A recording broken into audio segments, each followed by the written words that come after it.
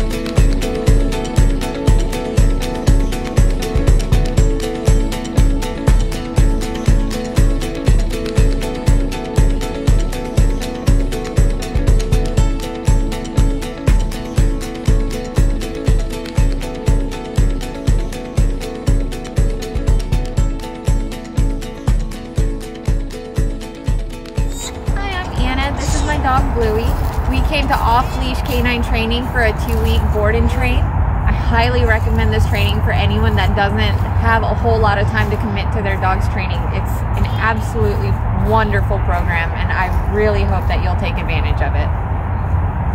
Hey guys, Josh Wilson with Off Leash Canine Training. I hope you enjoyed another amazing dog put out by my team. Uh, across the country, we don't care about the breed, the size, the age, or the behavioral issue. We're going to make them awesome for you. If you're interested in seeing more videos like the one you just saw, click the image here on the screen. Also, I'd encourage you to check us out on Instagram and Facebook. And before you leave our channel, make sure you subscribe. So every time a new video comes up of another outstanding dog doing some crazy, amazing things, you're going to get notified in your email address. And for more information on other locations we have around the country, check us out at joshwilson.dog. Appreciate you so much for watching our channel. See you soon.